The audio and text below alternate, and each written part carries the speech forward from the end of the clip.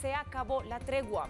Donald Trump cambió de opinión y anunció aranceles del 25% a las importaciones de China que tengan tecnología industrial. Donald Trump asegura que el acero y aluminio son vitales para la seguridad nacional de Estados Unidos. Quedó firmada la imposición de aranceles a las importaciones de acero del 25% y del 10% para las de aluminio, por un valor de 50 mil dólares a importaciones chinas que tengan tecnología industrial. La Casa Blanca también señaló que Estados Unidos planea nuevas restricciones de inversión y controles a las exportaciones.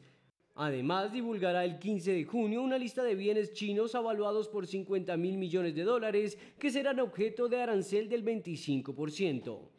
También está programado que a finales de junio se anuncien las restricciones a la inversión y endurecimiento de los controles de exportación. Hace menos de dos semanas, el secretario del Tesoro había confirmado que después de intensas negociaciones se acordó la suspensión de aranceles a productos de los dos países.